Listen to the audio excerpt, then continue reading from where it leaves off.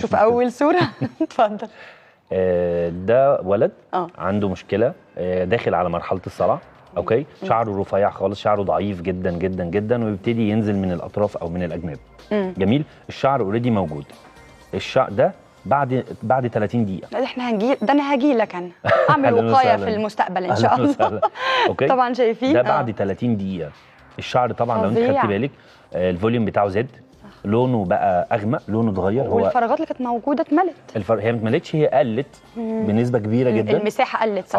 آه. by time by time يعني في خلال ثلاث شهور كل بصيله خلاص بتبتدي تطلع شعر جديد. ده واحد آه، دي case يعني خطيرة جدا يعني بنتكلم عنها كتير قوي في كل في كل حتة. ده حد زارع شعر؟ خلاص شاب عنده 30 سنة. وده كانت النتيجة النهائية بعد زرع الشعر. هو أصلا عنده مشكلة في ال blood oxygenation ده بعد 30 دقيقة. بعد ما عملنا له يعني زراعة الشعر ما. نفعتش و... لا هي نفعت معاه بس هو بس مش- طبيعه شعره ضعيفة. آه، ما بتطولش بسرعة أو ما بي, آه ما بي... محتاج آه. يغذي شعره. جميل؟ ده إيه يا دكتور بقى ده؟ ده برضو ده لو نقف عند الصورة دي بس آه. شوية.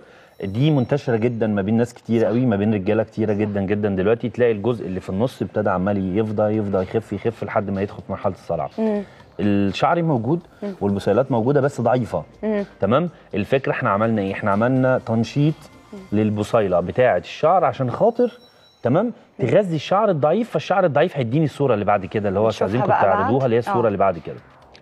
دي بعد 30 دقيقة. إيه ده؟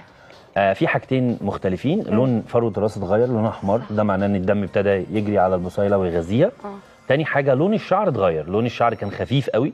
لون الشعر ابتدى يروح لل... للإسمرار الاغمق صح. للأغمق صح تمام آه ده بعد ثلاث شهور الأماكن اللي طالع منها الشعر اللي هو الخفيف ده آه. هيبتدي يطلع منها شعر جديد فيبتدي سمك أو كثافة الشعر على فروة الراس تزيد. زيد